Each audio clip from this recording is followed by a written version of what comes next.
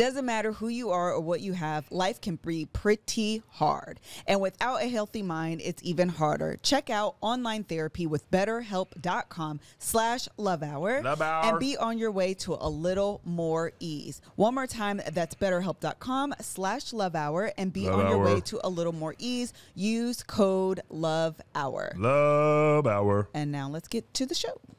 Hello, everybody. Welcome to the Love Hour podcast. I'm your host, Miss Kev, on stage, and I'm joined by my husband and co-host. Two in the pink, one in the stink. Oh my God! What? Kev on stage. Why, why was that? What? Why would you say that? All right. So, thank you so much for that introduction, Kevin Fredericks. You're and uh, Joshua has a mic because really quickly we are going to do the this week in the Fredericks household, and uh, by the time this comes out, it would have been two days prior. So on the Monday that this episode, the pr- prior Monday that this episode drops, we all attended Serene's um, homegoing service, and um, Joshua was kind of having his own revelation, but I just wanted to say this because I said this uh, in our uh, session yesterday that uh, I wish I would have said it in my caption. The generosity of Tony Baker's heart Man.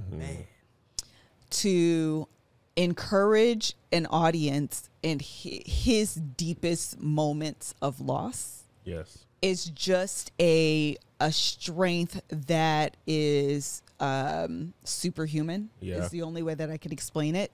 And coupled with that, though, is the strength to break down for that split second Yes. to have that type of vulnerability. And so I always want to be uh, even very careful in the way that I describe the strength of Tony that allows him to be strong when he feels strong and to live in moments of sadness and vulnerability and recognize that as strength as well. Yes. And they can coexist Yes. uh, together and he embodied strength both sides of that spectrum together eulogizing his son Absolutely. um, it was a beautiful beautiful homecoming or homegoing that allowed tony to do a 10 or 15 minute set A hot fifteen. a hot 15 i I mean, mean, we were in there cackling Crying, laughing, literally. Yeah. Not crying, laughing from laughter. yes Crying. Crying, also laughing. yes That is the crying, laughing yes uh, that I've never experienced. Usually you laugh until tears. I was already crying and then laughing and then like, man, because he, I mean, we knew Serene, you know, for a while. yeah Young, uh, met him 2014 when Tony started coming around All Def. Uh, he came on the road with us a couple of times. He came to Hawaii with us, which was also kind of like, wow. Some of the pictures in his yeah you know, program were when he was with us in Hawaii, a lot of the videos Sabrina sh- has been sharing are on that trip to Hawaii. And they weren't with us in all of them, Yeah. but a lot of them we were. Remember, one picture on his thing, he, we were hiking. Right. It's when we thought this hike was going to be five minutes, and it was like three hours two and a half, three hours. In the jungle. Right, but it was great at the end. We had a lot of stuff planned that day, and then it just ended up being like, okay, we're just gonna do that. But um, yeah, I didn't mean to cut you off. No, go uh, ahead. I was just like, that was only my third funeral that I've ever been to. Really? Only my third funeral. My great grandma passed away. My uncle Rudy passed away. These are the ones that I third went to. And then Serene's. The only one that was tragic. Um, and uh, I definitely cried more than Tony. I thought I would. I did. I was, whoo, I cried a lot. But uh, yeah, in that moment, I was like, man, Tony is, this is a gift from Yeah. God. it is He doesn't even, he doesn't want people to feel sad. right So he will take on the like, you know, he's there's a tough crowd in here at a, at a funeral. They looking to at the be- pastor, man. Yeah. I I I truly uh I don't know I think we all including the live stream and then everyone in the audience was just quite literally staring in awe cuz we were like cracking up me Kev and Joshua all sat together and they're like what is he doing? But it was so beautiful because he was also. It just wasn't comedy. He was also. He was telling you about yeah, his life. You learned about. He's yeah. just funny, so it became comedic. Yeah. You know, like he be crying Yeah. that whole day. You know, that was like a memory that Right. he remembered, but he just told the story comedically. You know what I mean? Him being late, that's a joke. Like, how you gonna be late to heaven? Yes, how that you how, you getting dressed? Yeah. We're spirits. like that's Hilarious. Tony, man. yeah. Ah, Uh, so anyway, it was a beautiful homecoming um, service for Serene. Uh, if you're interested in watching, Tony does have the link in his Instagram bio. I don't know if it'll still be up by the time this Did 40K. this happens. Uh, did it really? Did it really? Serene was that guy, certified CB, Certified Certified CB. certified CB. Um, but from that, Joshua was sharing with us before the cameras turned on about some of the the moments that he's captured. I sent a voice note to Joshua not that long ago, and I actually was in one of my posts, like from the first tour, talking about how you rarely see Joshua in pictures of everyone because he's always behind the camera, obviously. Yeah. And I was thinking about, um, I was like, oh man, that kind of sucks. It's kind of why even when we're doing events, I'm like, Joshua, I don't want you to work because I want you to like be able to enjoy the moment and like be captured in the pictures. But at the same time, I remember saying um, that your presence is always felt because. It's always your eye. Like literally, whatever picture you have is literally It's our Joshua's eyes eye. in the picture, but it's Joshua's eye. Take out a picture. Correct. But only one eye because the other is closed. Right. So, Open Joshua, do you want to share what uh, your revelation was? Yeah. Um, I mean, what I've been feeling for the past month, uh, since about the Philly show, because I don't. I mean, it, it hit the New York show, but the Philly show date is a date where we were like, okay, we can put all this on pause and be perfectly fine with it. But um, I took a photo of Kev on stage and he was like it's it's honestly tough to to catch a good photo of you on stage because what I notice is you don't laugh too much because you're focused on telling the story. Um, so that sometimes makes it difficult. The way the when I feel like I can get a photo of you is like in between jokes when you do like a little chuckle, but then you'll grab Yeah. your towel and then it's a whole thing. I'm noticing the the the little tendencies that you have. But this one joke's sp- specifically, I th- I think you were still developing it. I forget what joke it was, but you actually laughed pretty hard, and that's where you like tilted your head back. Yeah. And for me, in that, not necessarily in that moment, when I was going through, or even when I took it, I was like, okay, that's gonna be something cool. I'll like, I take like a mental note. Um, with as many that I take, there's literally a few of them that I actually were- am excited about for the most part. Mm-hmm. Editing that one, um, 'cause especially in the green room, that green room was a tough green room to be in that night for everybody. Uh, Can you provide context? it was just you felt the weight of sadness. Um, that's when uh, Sincere posted the photo or of him and his brother when they were younger, without getting into further context. Yes. To keep Kev from folding. Yeah, I'm not gonna fold. I, I don't have any more tears left. I, don't- think I'll be think refilled either, by but I folded- Thursday. I'd folded for two hours straight yesterday. but um, during that moment, and even before that, like it hit me right before we got in the car to get to the show. Um, and it was tough to get through those two shows because that's the thing too, right? Is like everybody in the room knew at that point too. The first night in New York, uh, nobody else knew. Meaning nobody else, meaning like this, the audience. audience, The didn't public. know. But by Philly, people knew slowly because I think Tony announced it too is Patreon, Patreon. first. Um, so people who were through and through supporters like knew. Um, but that night was especially hard for everybody to get through. But uh, so behind that photo that I took of Kev laughing super hard, uh, it was kind of like, it was almost like a therapeutic moment of like, kind of like not laughing through that, but still finding the joy in what you're doing in general. Kev being uh, the performance mode that you were in, uh, being around the community that is supportive.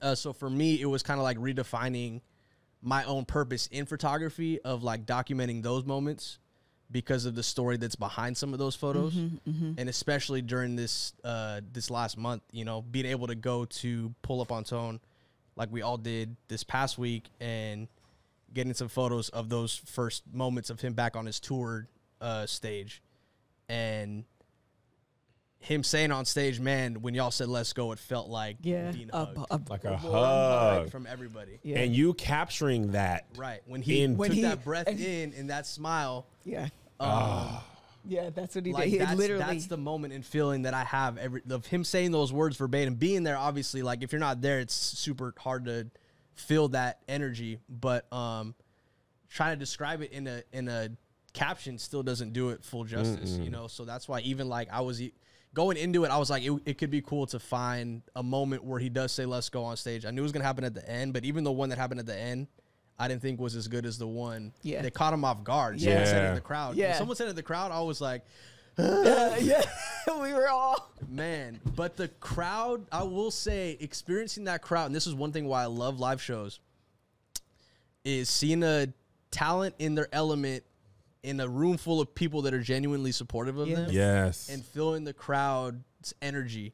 But this one's felt different because this was a comfort. Yes. This wasn't like, oh, we're happy to see you. This Yeah. one's like, we are here Yes. and like Yes. we're grateful for you to be here. We're Yeah. all emotional. Yeah. There was an elephant in the room the entire time. Yes. Mm-hmm. And when somebody said "Let's go," it broke that wall. It, did. It broke that wall, and Tone didn't address it, but he's like, "That felt like everybody was hugging me. Man. People were standing up, clapping for him before he even came out." So like having these stories with those photos as context, like it's and then capturing those moments like of him with that big breath in, like like that sigh of relief, like I needed that hug. Yes. Yes. Um, that's something I'm grateful to be able to grab and share with people specifically because if you're not there, you you would never know that moment happened. Yeah. That's why your photo book will be like, here's the story behind the picture. It is. It's almost like uh, Barack Obama's photographer. I can't think of his Pete, name. uh, Pete D'Souza. Yes, thank you. I follow him on Instagram, and when he shows photos, um, especially uh, directly after President Obama's um, tenure, uh, he would start posting pictures from his archives, and they would always have like a really interesting story behind Yeah. it. And I think that's what kind of even what you're saying for people that now can go back and you see the picture of Tony Baker, and it literally looks like he's kind of inhaling. He has a huge smile on his face. That's the story that Josh was Taking telling love. when people someone said let's go the audience kind of joined in and he literally said that felt like everyone just gave me a really warm big hug. Um, and it was special. I mean it really was. I i said yesterday on facebook that i am exhausted. It's Oh true because we've been going going going and i haven't traveled with you guys in a while. Um, and i also wouldn't change anything No, we Melissa was like, uh, I want to go to Tony's show. it was mel my sister's idea Oh, okay. Uh, well, Liz told me, and I was like, yes. And I, I didn't think we, I was going to be able to make it because I thought we were mirroring each other Friday through Sunday, but he was Thursday through Saturday and we were Friday through Sunday. So it worked out. And as soon as I told the tour group, uh, Josh was like, I'm coming. And I was like, oh, good. Because then he'll, he'll get the picture, uh, or be able to take some pictures. And, um, I think you can, sh- you know, there's a lot of different ways to show up for your friends. You know, everybody couldn't come, couldn't be there. They have their own things or whatever. But um, to be able to be there, you know, and then I ended up performing the second which show. was amazing Yeah, like, and I was like, you know, Atlanta's always great anyway, but that crowd, I, I, this is when I'm even more grateful that by this time in my career and even Tony's career, the majority of the audience that is there is there specifically to see you. Yeah. Sometimes in clubs, depending on where you are career wise, they'll come because they like the club or they just want to go out and they don't really care who's on the stage. And There's always some people in the audience like that for us, but it's not a big portion. So by the time Tony was performing, you know, the Serene's passing was, you know, three three weeks before. oh yeah you know, yeah. but it was Tony's first time headlining. He said that when he performed in um, L.A., he did like ten minutes, but he didn't really feel like himself. Yeah. And this was the one he was like, okay, like Yeah. you know, and then he proceeded to just his jokes. I I'm not gonna spoil any, but his jokes post Serene's passing, I'm like, I've used this example before.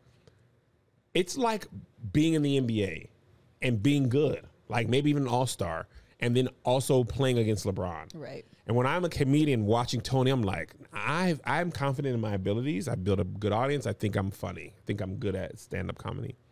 Tony is LeBron. You're just like, I mean, we're both doing this. He's doing something else. Yeah. He's doing something I could not do. I'm glad to be in the same industry, even more glad to be his friend. But I can recognize this man is better at this than almost anybody. Yeah. And it's a it's a joy to watch somebody be at the top of their craft. Yeah. And, that man is his ability to say, uh, take anything, anything, Anything. and make a joke. Yeah. And even this painful moment, Right. how you making me feel good at your son's funeral? Right. Listen, that, I mean, How? and that was that was part of the two. Not that it was ever in question before of his storytelling, right? But all of his stories that he tells on stage when he's talking about something always felt authentic. But there's Yeah. a different type of authenticity now when he's speaking it, and like especially just to be able to just be like un what's the word I'm looking for? Like unintentionally funny. You're right. Yeah. um like he did when he was when he was speaking at, at the service like he was not go he's not going into that oh i'm a, Up to- I'm a yeah. Go It's not about crazy the with set. with the 15 No, he Right. didn't write no jokes down. No, it's he was not doing stand up. He was talking about Yeah, his son's, life. He Right. was. He's just funny. Right. And he said, uh, he commented because I had made a video yesterday and I was just talking about how I was in awe of him. And he's like, I didn't even know what I was up there doing. I And was it- just talking. I, I think that was the most beautiful part to your point that he was literally he didn't go in intentionally thinking I'm about to do a 15 minute set at Right. my son's funeral. Um, he was literally just talking. He's just really funny anyway. And then also though, you have to remember the first thing he said is, "Man, y'all sad in here. Mm-hmm. Lighten up." Mm-hmm. And that's why I started with the generosity of his heart yeah. of recognizing I, I want to lift the room. I want to bring some light and levity to the room and being able to do that at your son's funeral, Man. your oldest son's funeral. I need to tell him this too. I'm a great father. Fantastic. I know that. Everybody knows that. My wife knows. The kids know. Got great parents. Melissa's a great mother. I asked Joe in the car yesterday. He's like, "How do you feel about your parents?" He's like, "You guys are really good." He's like, "Any po- anything we can work on?" He was like, "You guys are really great." Because of this situation, I was like, is there anything more I could do? Is there any more moments I could appreciate? And I realized there are some. Like I miss a lot of JoJo's games because he plays on the weekends and I work on the weekends, especially this tour. But it, usually when I take him to soccer, I'd be like, okay, here we go. Let me schlep you down to soccer practice. And I usually sit in the car and either work or relax, play FIFA, scroll the internet. After this, I was like, I need to. Is there any more moments I could take in of his life, just in case? Yeah. So after that moment, I now get out of the car. I uh, started watching Joe, and I noticed him noticing me, mm-hmm. watching him. Mm. The last week I did it, and he was like, mm. and you know, Joe be a jerk. And yesterday I, made the mistake. He does not like to be praised. He did this kid so dirty. I didn't catch it on video because I was like, let me watch some, record some. He embarrassed this kid so bad. And the coach was like, whoo, good job. And I was like, Joe, he was like, now you know, we don't do no Talked doggone about shit. we already talked about this He Kevin. was, but I'm like, I, a good play is a good play. You know what I'm saying? So anyway, uh, So I'm sure some of you missed your doctor's appointment and your dentist appointment because of the pandemic, and so you couldn't get your teeth cleaned, and so you are you didn't go to your uh, your physical, you didn't see the eye doctor, you didn't do any of your regular healthcare checkups, and these things are important because it's how you stay ahead of things that could be coming down the line. Well, with ZocDoc, you can search for local doctors who take your insurance, read verified patient reviews, and book an, impo- uh, an appointment in person or video chat. Never wait on hold for a receptionist again. Whether you need a primary care physician, a dentist, a dermatologist, a psychiatrist, an eye doctor, or any other specialist, ZocDoc has you covered. Uh, you guys know that I am a person who is constantly looking for a dermatologist and really good uh, skincare line, and I have used ZocDoc to find my uh, most recent dermatologist that I use um, to help keep my skin glowing. Cause she popping today, ain't she? you are, you look, you look good. Uh, so uh, what you need to do is go to ZocDoc.com slash love hour and download the ZocDoc app. I'm going to spell it Z O C D O C app to sign up for free. Every month, millions of people use ZocDoc, and I'm one of them. It's my go to whenever I need to see a doctor or specialist. Uh, now is the time to prioritize your health. Go to ZocDoc.com slash love hour and download the ZocDoc app to sign up for free and book a top rated doctor. Many are available as soon as today. That's ZocDoc, Z O C D O C dot com slash love hour. Love hour. All right, here we go. Um, really quickly, as we kind of round this out, uh, there are a couple really great moments that Joshua has caught uh, that has story behind them and meaning behind them, and they always make me emotional, even when I'm scrolling um, them. The one that we talked about with Joe, obviously, this one uh, uh, you got when you first performed at Caroline's. He's had some photos from there. The very last tour. I want to pause the Carolines. Okay. You. Oh God. Why, why am I crying? What happened? I don't know. what happened? It was going so well. Yeah, it was. I didn't tell you. Why didn't you tell me? I don't know, man. Leave me alone. You brought this up. Hush. But listen. Uh, that emotion hit you like man. that. That's how it hits Like, me. yeah, Y'all you, got thought, you thought I was done with you yesterday. Yeah. uh, the Carolines show was so important to me career wise because that is a tough Yeah, yeah, yeah. Broadway. get. It is New York. It is Broadway. Not an off night. It oh, is. It was. It was. Okay. But I had a weekend there before, so I'm not even tripping about that. It is hard. And because of the pandemic, I'd already sold out Caroline's the previous Shouts to the Patreon. year, Patreon. So not only did I get to sell it out, I sold it out on the strength of the Patreon alone. Mm-hmm. And even though, you know, Serene passed, that didn't taint the thing. Like Serene loves comedy. Right. He loves his dad's friends who are all comedians. Uh, they said this a lot in the funeral and uh, about how he loved being around his dad and being around comedians and things like that. Uh, you don't usually get most comics. This is why I'm glad you're able to come with us. Most people don't get to you for having have me. something to look at. Right. What'd you say? I said thank you for having me. Oh, they don't get to be like, let me just reflect. And I'm terrible. You you know, I'm terrible for reflecting. I'm like, but that was a goal of Yeah. mine. Madison Square Garden is next, uh, and it's only 18. It can be done. Yeah, I'm working towards. It's only 18,000. There's a lot of people in I New know York. you meant. Just All I We'll- need you we'll to do do one is for the year. Oh, We'll New York. I'm gonna listen, go. y'all. Everybody come. There's a lot of people go. in New York, Philly, Connecticut. Yeah, you got good Northeast. Stage crew, Madison Square Garden. Remember this.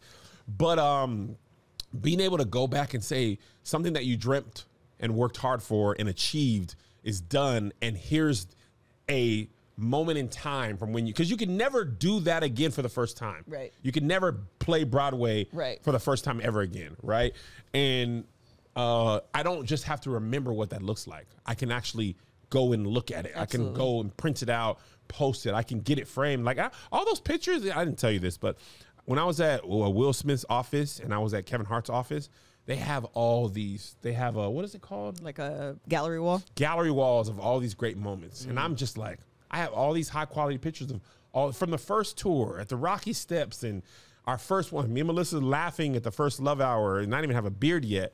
JoJo and this and Tony, like being able to fill your life with moments. You know, like that's the thing that Serene uh passing gave me even more. And I'm usually even like this, but I think to me more it's about cherishing moments Yeah. because when you pass away and you're at a funeral all you have is the memories Absolutely. the, the reason his service was so beautiful is because everybody had so many positive moments even the kid's busted lip and his busted lip Yeah. and the music and the him getting people jobs and like and my own memories with him you know and, and the hawaii trip and just you know how much fun he was I think it makes it easier to move forward because there was no Tony was saying this. He was like, I don't have a lot of regret. Yeah. I love my kids out loud. I like my kids out loud.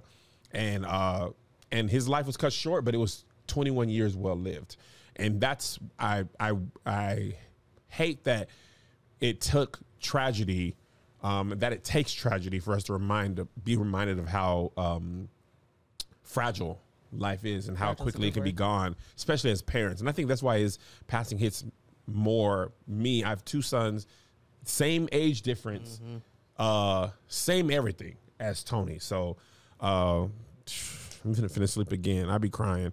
Uh, but anyway, uh, love to you, love to the people, love to people who support him, and I feel like as a group, as friends, and as audience, not even you know just the stage crew, or the bakery, the outpouring of love makes you So overwhelming. It's it makes you be able to move forward because you get to be like, man, thank you. Like Tony has said, his village, and we are part of the village, Mm-hmm. but so are the people watching. Like the the stage crew, the bakery, Angel Wings, you know, book club blues. I knew it. I could never say it. It's too many. It's too many Everybody. You things. said Cub, and then but I you- can't but do then it. You're like, there's an L The somewhere. There's Club. Blues. Ah, forget it. Melissa's fan base is on Facebook, the group. All of us coming together and virtually that community matters. Absolutely. And I think that's why we win. Stage crew, we win because we have a community that cares Right. about people. And I remember when it really clicked for me. It was during the bonus episodes of the 2019 tour when the stage crew was like, y'all y'all look tired. M- If y'all don't have it, y'all should take take one or two off, Yeah. Right? I think it was like in London. It was. We were getting ready to go to Amsterdam, and they were like, "Y- "Y'all take some time off. We we care about you as people. It's not just transactional." And that's why when they've given money, and that's why I was that meme of me crying is because I was I was on Patreon. Somebody screenshot it, which was still funny. Uh, but that's what I'm grateful for. That you know, most audiences don't have this. And the last thing I'm gonna say, since we're mostly uh, close knit family, Patreon and Love Hour, we're planning what I'm gonna do next year and I was talking to my my wife, and she, you know, I was like, ah, man, clubs again, you know, and I was like, maybe I'll go back to churches, and Liz was like, nah, man, theaters, and I was like, girl, you know, the theater deals and all this and that, and she was like, you can do it, your audience will show up, and they'll pay a little more to support you, and then my agent was like, one of the reasons I don't put a lot of people into theaters is because they don't have audiences. When you go into theaters, every seat is there to see you. There's no club people Yeah. coming. There's no email blast. There's no people just going out for a Friday night. People go to a theater to see someone specifically. Right. And the one thing I know that I can count on is that the stage crew, except for Palm Beach and Miami, which will not be on the list. Florida, you might not get a show. You might be getting having to go to Atlanta. Uh, but if I do go, it'd probably be Orlando. Uh, but the one thing that I didn't worry about is those stage crew gonna pull up Yeah. especially if they know I'm like, all right, here go another leap. They gonna pull up and they gonna play a little more if it's if it's a little more, and I don't have to worry about which a lot of people worry about. Do they care? Are they going to show up? Are they gonna show up? So that was a long this week in the Fredericks, but it was It worth was. it. It was worth it. And we're going to close out with uh, creating a moment. Uh, you guys know that while we're here talking about memories, uh, one Ah, of the things that's it. really important to me is being able Dominic to share first time experiences with each other. And I was going through the grocery store yesterday. I was a day late. I tried to make it a Sunday habit, but it happened yesterday. And uh, I saw these key lime pie limited edition Kit Kats. You don't even like key lime. I hate key lime pie. I That's not the gross. point, Kevin. It's not the tell, point, though. Tell him the point, Liz. The point is that actually you do like. Key I lime. love key lime, but I don't know if it's gonna work over chocolate. Oh, chocolate. I absolutely think that this is going to be disgusting. And that's what makes me the most excited. So I'm going to call this segment. I don't know how long we're going to continue to do it through the end of the year, but as much as possible, if you see things in stores that you think are gross, please send them to me or let me know where they are and I will buy them because we're calling this love in action. Why can't we eat ramen or a biscuit or something? because we know what that Why does it have tastes to be gross stuff. So this is love in action. I like do love in this. action. Love I in like. I, action. it's a great. It's a great segment. So uh, do this with your family. Display love in action. Here, Kevin. Oh wow, that smells very. Oh yeah, let's talk about it so they can imagine. I got this from not mad at it. Ralph's, which I think is the equivalent of Safeway. Yes. Okay, and Safeway. no, that's Vons. Kroger. Yeah, you're right. It's Kroger. Ralph's isn't in the Vons family. No, Mm. It's Kroger is- family. Yeah, yeah, yeah. It's Kroger. So in case you're interested, all right. So what does it smell like? butthole. It, it's an awful smell. There's definitely I, I smell key lime and in the wafer Yeah, that's what I smell too. more than the chocolate. this is gross. Well, they said spicy ramen challenge. I'm definitely down for spicy. Oh, that'd be good. Okay. Melissa don't like ramen, so we gonna eat some things that we like and you don't. Uh, it's she said it smells like diabetes. This smells like key lime wafer chocolate. It smells like what it is, but like, like Smell like the outer rim of a butt, perineum bottom. it smells bottom like connection. Smell the imagined version of key lime pie because key lime pie doesn't actually smell like It's like this. if Crystal It's not- Light had a key lime pie. It's key Yes. lime Lacroix. yes. that's exactly what it is. It was like this was in a this was in a restaurant where they served key lime pie and they bumped up against each other. and then they just colored it green. Okay. I got tired. All right, one, two, three. This is my body. This is not the Lord body. We are not doing communion over key lime pie Kit Kats, Melissa. All right, you ready? How much do we gotta eat? Uh, just get a good. Don't just eat like the tip. Eat a good piece. I knew it, but we're here now. Eat a good piece though. All right. Okay, one, two, three. It's not bad. not terrible. The It's lime not really good. sticks out. This is bad. The more you chew it, it gets bad. This is definitely bad. It's like a white chocolate. It is It like is white chocolate. and I don't like white chocolate. I don't like white chocolate. Only black for me. Um, it tastes chalky, which is one of my worst. Ugh. Uh, It kind of tricks you. It's not bad when you first eat it, and then it gets bad. uh, I hate chalky. It has. It reminds me of like uh, protein bars. Yes. They have that chalky. Josh, you took another bite. No, I gotta get a better taste. Oh, I'll run eat- out. I'll forget what it tastes like by the time it comes to me. Uh, it also gets it gets key limey like tarty. The more you chew it, and then it has a nasty aftertaste. Oh, That's the not aftertaste is good. the worst. That's not good. Now I'm gonna have to have a, a regular key lime pie. Hey, that might be the only good reason for going to Florida this week. to wash it. Oh, Is they yeah. make good key lime pie. They do make yep. Key, Key West. pie be everywhere. Where's Key West? Fort Lauderdale area or Yeah. low? Florida Keys are low. low. Yeah, it's low, right? Yes, we're flying in. Because we left for, from a cruise over there. We did. That was awful. Don't you bring no matcha in here. I know that. Oh, I should do that. Matcha, listen, let me tell you what I hate. Matcha. By the way, this weekend we were in Houston. Uh, there was green tea because my voice was a little uh, sore. This is so funny. Made this green tea, right? Not paying attention. Take me a healthy swallow. It was matcha green tea. matcha tastes like warm boiled grass to me. and not expecting matcha because I didn't take a smell of it. Oh yeah, if you don't know, Oh, it was so poignant.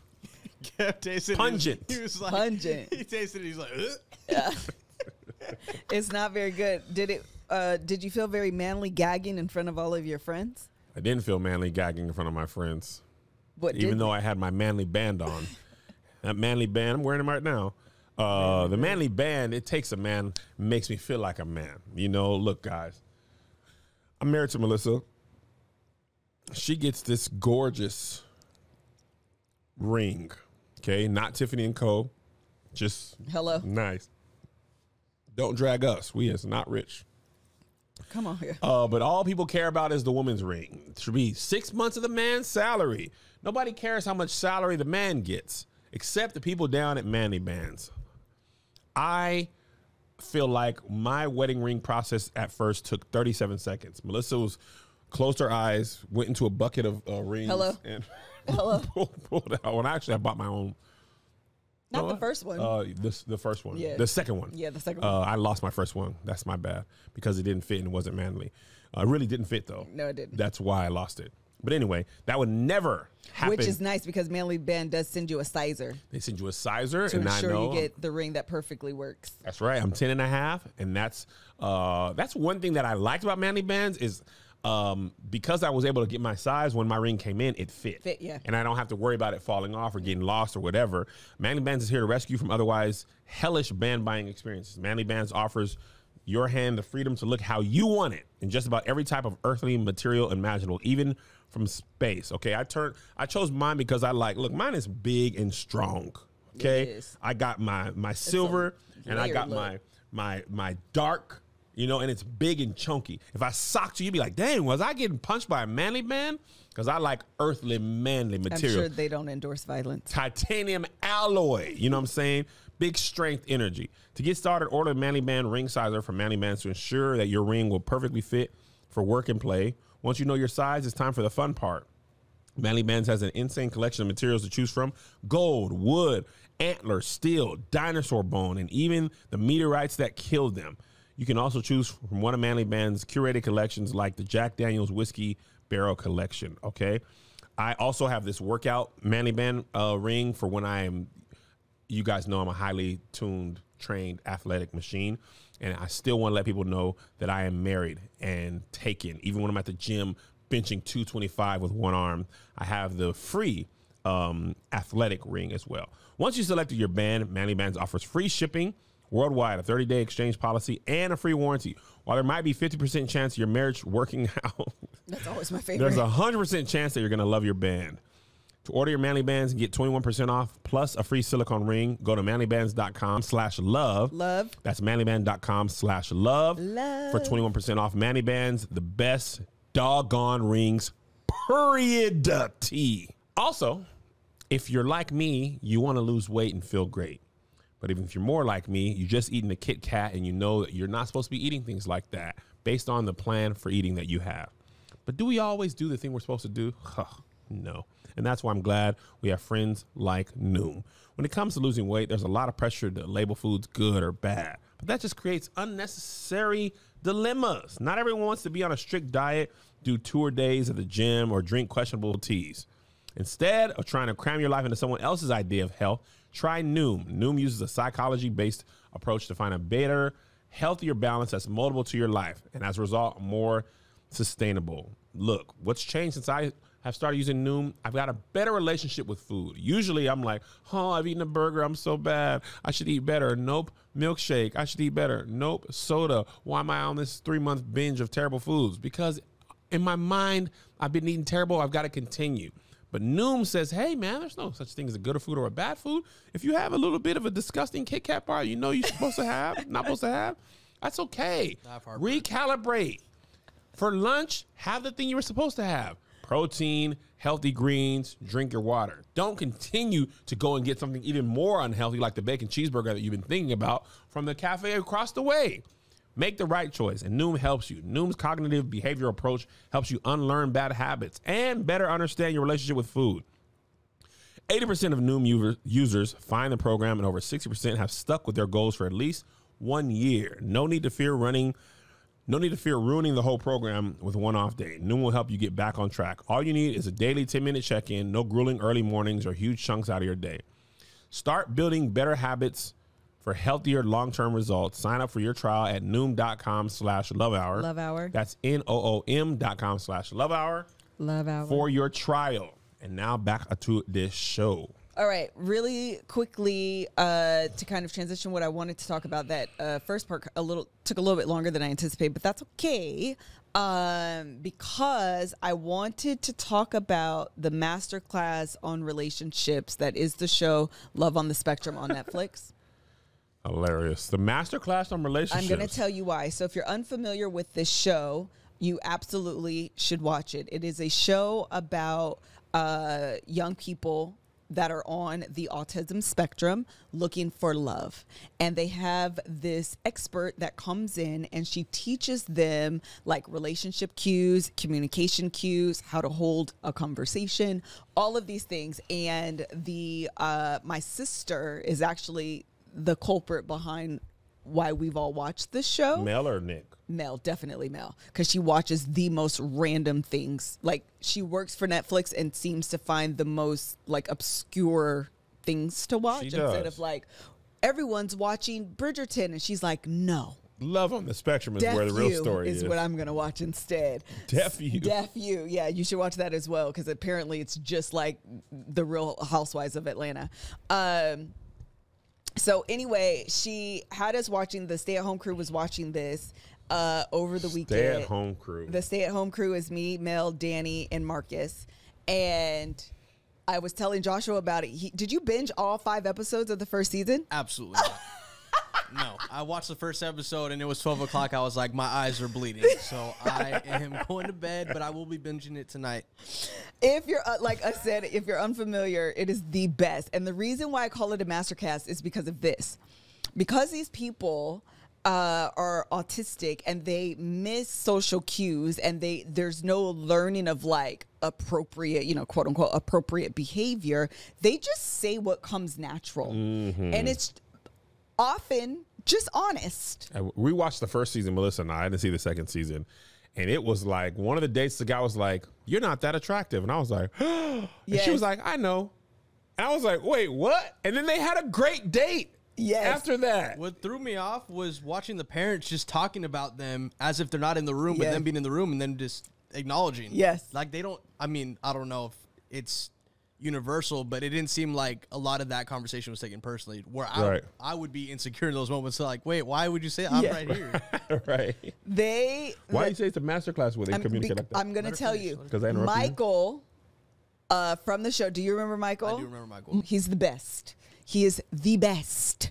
Cl- clearly the star of the show on accident because he's just so honest. season two's- I call it a masterclass because if all of us was just as honest and transparent in our relationships, uh, most of our Mm. issues wouldn't exist. Do you want to talk about uh you do or do Might not? as well. So Y'all, this is the last season of the Love Hour. We or we're open up our hearts to y'all, but it ain't gonna go into 2022. No, and I'm I'm I'm even gonna keep some. Uh, it won't be everything anyway. Okay. So anyway, I was thinking about obviously the um, uh, uh, Love on the Spectrum.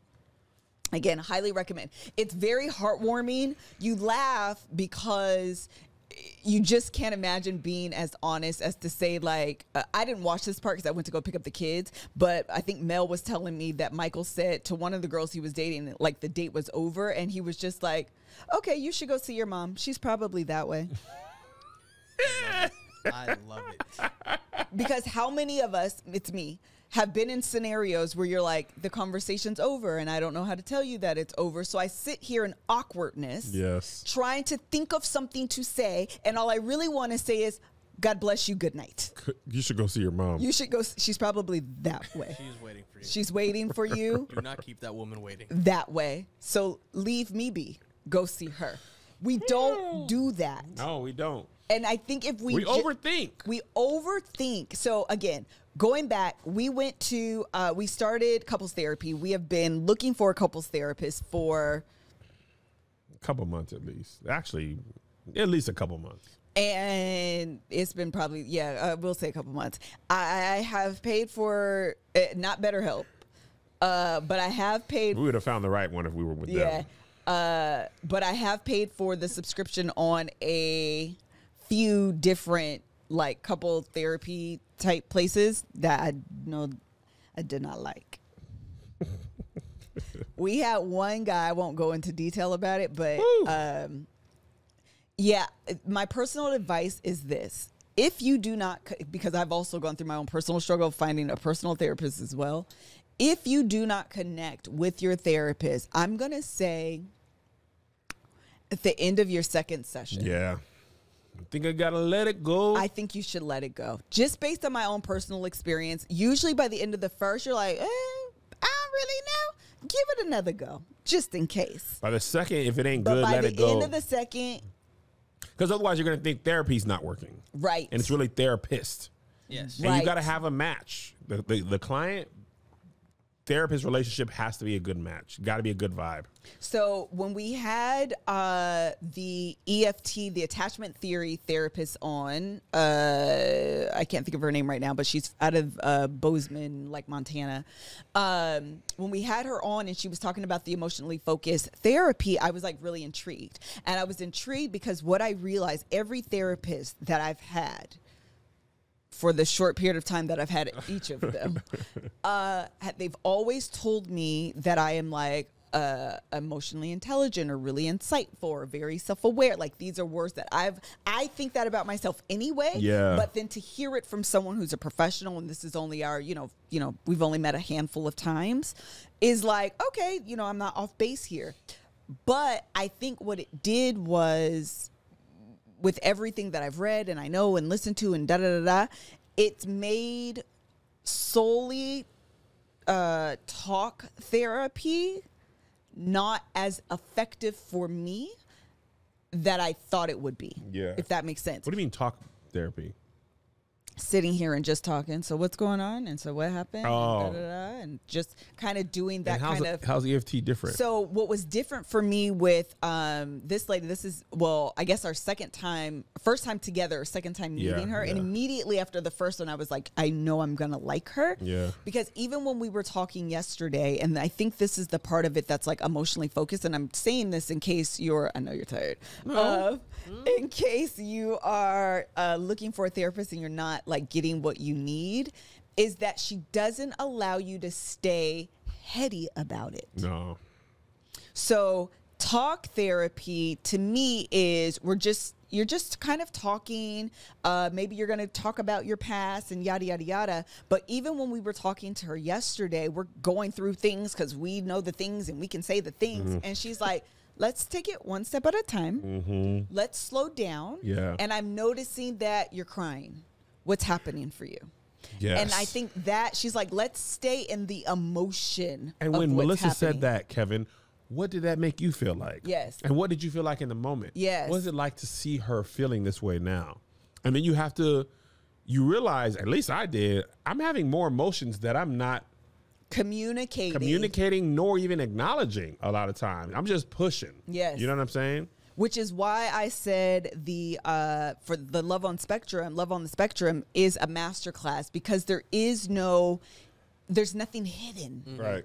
There's nothing hidden. It is straight away like uh um you know if you have a banking and you have hidden fees or hidden ATM fees or some of that you don't you're unaware of it that's unfair to you and that's why Chime is here because what they are is an award-winning app and debit card, debit card that has no overdraft fees, foreign transaction fees, monthly service fees or transfers fees. They have over 60,000 fee free No hidden fees, baby. In network ATMs at locations like Walgreens, 7 Eleven, CVS, and so much more. We have personal testimony from Joshua. It's time to say goodbye to hidden fees. Join the millions of Americans already loving Chime. Sign up only takes two minutes and doesn't affect your personal credit score. Get started today at chime.com slash love. That's chime.com slash Love.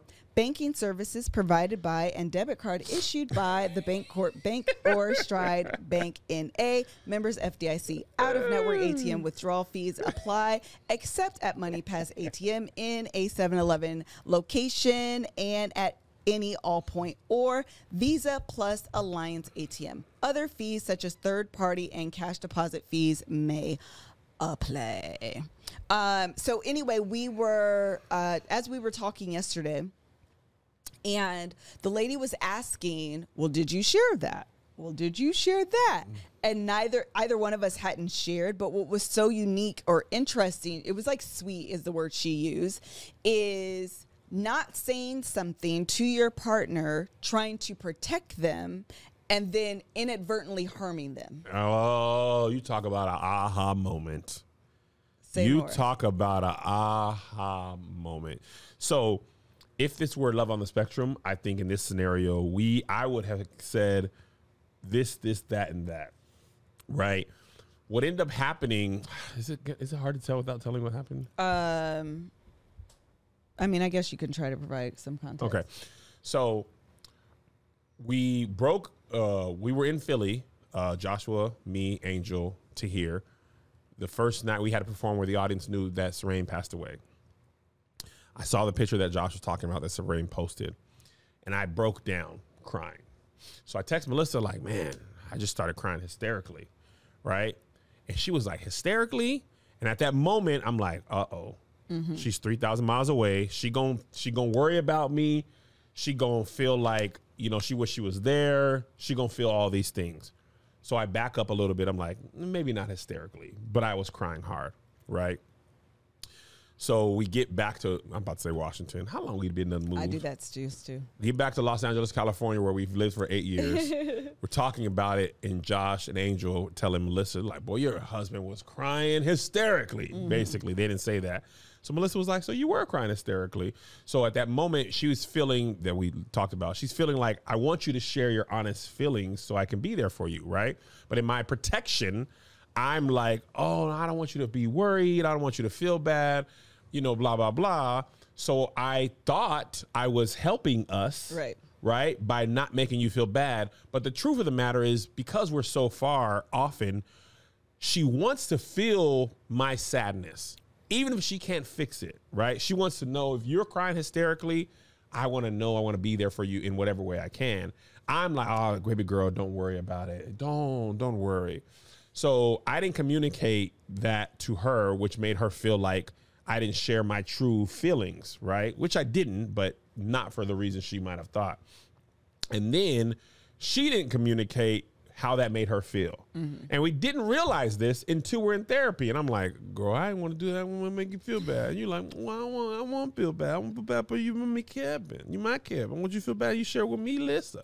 But she didn't express to me how that made her feel. Right. So further on, I do something else that had I known how that made her feel in this moment, I would have been like, oh, this is far more serious. I won't make that mistake. So because she didn't say that, I did something else that was even worse along the same Yeah. lines. All that could have been avo- been avoided had we shared our honest feelings and stood in that honesty. Like hysterically, yes, mm-hmm. hysterically, loud, uncontrollably. Textbook definition of hysteria. hysteria. Literally, except for the part about trying to associate hysteria with the hysterectomy. Men were trash back then. But textbook definition of hys- hysteria. Um, but we learn in that moment by trying to protect each other from hurt, you inadvertently hurt. If somebody steps on your pinky toe on accident or on purpose with the same weight, it hurts the same. And I think it goes back to uh, the earlier, again, a lot of the revelations that uh, I've shared on this podcast. I think, uh, as sad as I am about this podcast, one thing that I recently have realized is I am the student of this podcast. In as much as I'm here um, sharing my revelations to everyone, I receive them first. Oh yeah. Oh, so oh yeah. it has been my own ultimate masterclass Yeah. in teaching me how to navigate this world. Not that I have it all together, because again, this is a very recent example. And only a few weeks earlier did I realize that communication involved being transparent, being honest, Yeah. and being vulnerable. That's go ahead. The other, well, I just want to add to that, and, not, and not, I don't want to break your train of thought. The other thing that's hard about that is doing it in real time. Yes. So many of these things are easy hindsight or with the help of a therapist. The hard part is doing it real time. This is the time, Kevin. Yes, hysteria, hysterical. Let Melissa know, girl, I said hysteria, not hey Siri. Let Melissa know that you are feeling hysterical, Yes. even though, because I don't want you to feel bad because I know you're far, which is a good intention. Right. But bad result. Right. Okay, go ahead. that I think you're 100% right, but that, well, let me finish your whole thought there. I was listening to a podcast this morning about um, therapy, couples therapy, that kind of thing. And he was, t- or the, actually, he had a guest on, and she was talking about how even when you know better, in the moment, you become so flooded that you don't always do better. You don't always do what you know to do better.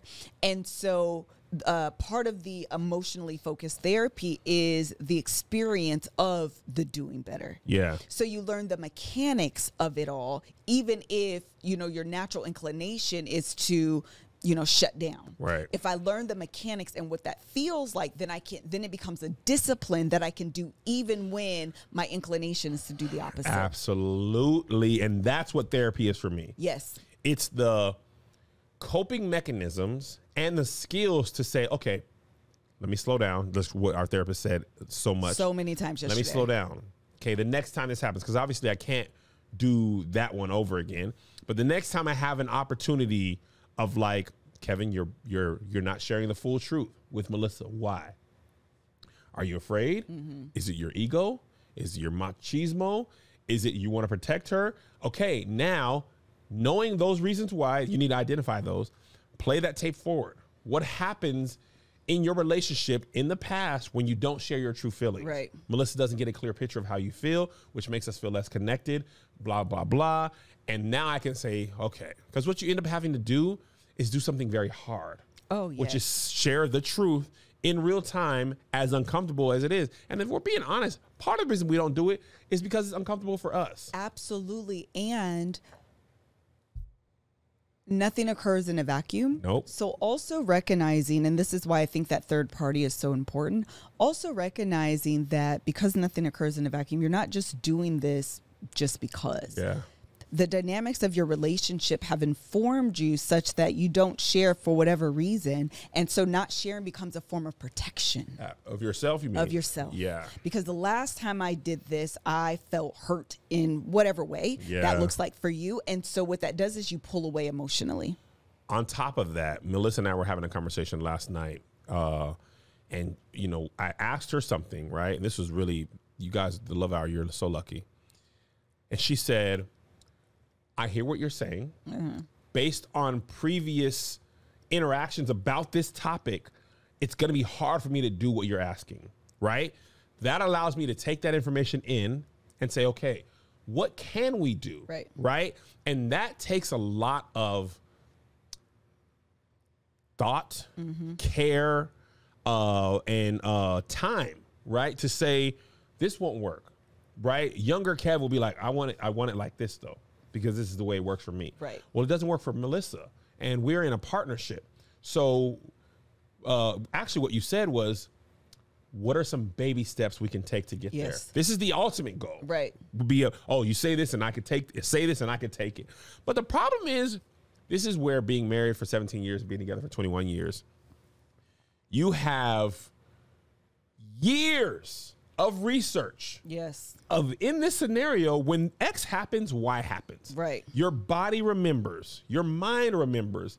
Even though I know you're saying this would be different, everything in me says no. Yeah, right. I have too much research. My data tells me that 99 times out of 98, Yes. you will respond this way. Right. And that's going to make me feel this way. I don't want to feel this way. So I can't do that right now. And all of that happens on an unconscious level. Yeah. Uh, it's just after years of you know kind of being informed in that way, your natural, your body is going to protect itself. That's its first job is to protect itself.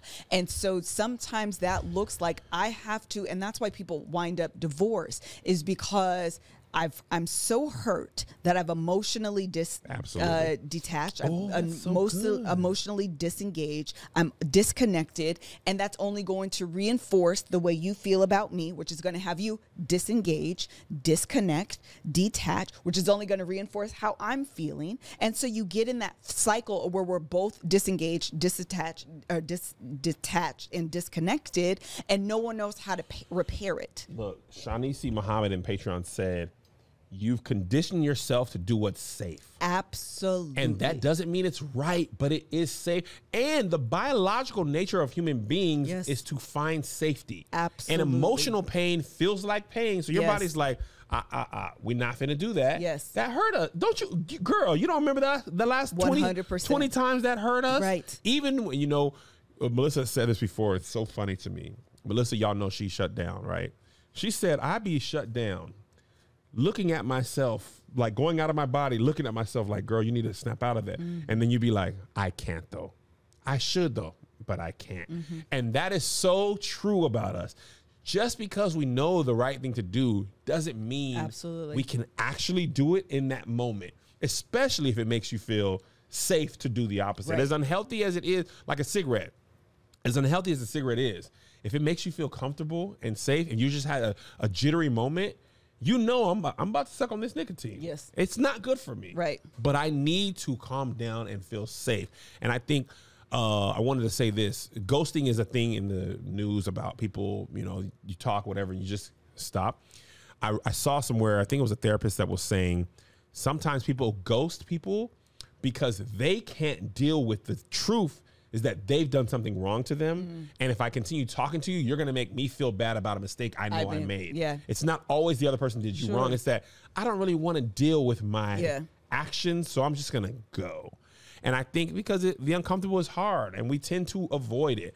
But in a marriage, uh, I was telling Melissa last night this is the only way we stay happily married for 30 40 50 years i think people can easily decide i'm going to stay married but that means i'm going to close off this part of me and i know i'm never going to expect you to do that. And i'm going to basically close out a part of happiness. And i think when people get divorced after 30 40 years it's because that part that died is just like i don't even want to do this anymore. The the therapist was talking about. Uh, she called it what uh, basement work yeah of uh, releasing and getting that type that level of vulnerability with your partner. And I think we often can you know stay above the basement, um, but things when they're deep and they're scary, you protect yourself because you don't know what you're gonna find. and she said it was like walking in a basement with no light on Yeah. it's already scary, but it's dark. Yeah. And it's uncomfortable. You're kind of like, you know, you put your feet out Yes. to make sure you're not stepping on a nail or something like that. But she was like, if you want a good foundation, you got to go into the basement and sure that up. And I was like, dang, girl, that was good. and so and and recognizing that uh, whether you are a shutdowner or you're a person that's a chaser and so you're going to nitpick and argue and fight yep. that it's all coming from a place of fear Yep. that I feel like uh, this relationship, what we're feeling is so shaky and unsure that I don't know what to do. And so for me, that looks like I, I fe- I'm feeling very unsafe in this environment. And I don't mean physical safety. No, no, no, yeah, yeah. But like, Emotional I'm, safety. yeah, I'm not feeling very emotionally safe. So I can't share with you. And so I'm going to protect and hold on. For some people, it's like, I'm feeling so unsafe right now as well, but we're going to fix this. So I'm going to give you everything. Yeah. And regardless, those are not uh, the the basis of emotionally focused therapy is the attachment theories. Yeah. Neither one of those is stemming from a secure attachment. Right.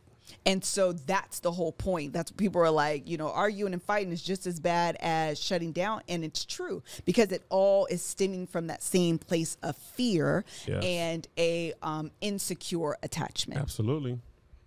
Anything else? No. Great. I Monique said, I need y'all to put this part in a separate clip so I can send it to my hubby. So good. Yeah, this was, I mean, this is kind of what I wanted to talk about. In addition, I wanted to talk about that thing that was going viral, but I won't do it about the the, same for last um, yeah, about the guy who did the, the flowers thing. Yeah. I started following him on Instagram. He got a brand deal just really quickly from With a flowers flowers? company. The other thing is that he provided context for why he posted that. And he has like a relationship podcast. It was just very interesting to not get so wrapped up in the moment of a tweet and now to get it a few weeks, however long, a Yeah, yeah, week later. yeah. And now he's providing a lot more context. And I've researched him a little bit and I'm like, oh, you're not exactly who I would presume simply based off this tweet. Get him on the show. I honestly am thinking about it. I I have to do a little bit more research on him just to make sure like Yeah. who he is, kind of what he mm-hmm. stands for. But you do the research that ESPN didn't do while that fake high school got on TV. yes. Oh, I don't know this. that we talked about on the podcast. Oh, but if um if he is as uh you know legit as he seemed and he did because I was like, are you trolling? Then I was so confused, but then I was like, no, no, no. He was just kind of tweeted something offhand, didn't realize what it was gonna do. He probably did his own self reflection and then kind of came yeah. back. So anyway, really, really. Um, We'll talk about it, y'all. Y'all don't know the flowers thing. We'll talk about it Oh. if we talk about it. Uh, well, in that regard, if you're interested, go to on Twitter. His name is King Solomon or Suli S U L I Breaks. Um, and that's also his Instagram as well. And you can kind of see uh, the sequence of events. Anyway, thank you guys so much for joining us on today's Love Hour episode. Uh, last, last, last thing. I am thinking about doing your Love Hour guest favorites to close out the Love Hour for the last maybe four to six weeks. So, uh, uh, Catherine, if we can do a post actually on the Love Hour page and I can get people to send me their favorites, I will start coordinate those so those people can come Don't back. you get Stevon Lewis back because I've heard enough about imposter syndrome. Uh, we will- enough we from will you. have, uh, Chad, I do need Stevon though because he ain't a ticket. He ran the That's corner. true. Stevon Lewis will be back to drag us some more. So anyway, yeah, send me your favorites because I want to start lining them up uh, for the end of the year, probably in November into December, um, depending on how many we have. Maybe starting even in October. Should we do people that we haven't done too that they that they'd like to see us before we finish? I mean, listen. Send Somebody said the friends, and I was like, I don't think we have the, The weeks have are friends. limited. Send anybody. Oh, LeBryant and um, Fanika. Because you only got what? It's gonna be September, Mm-hmm. September, October, November, December. And I'm only doing like two weeks in December. December it's- in three days. It's too. 14 episodes. Yeah. So send them to me. Uh, yeah, I mean, y'all telling me now, but do it on the post so we can keep record of them. Thank you guys so much. Bye.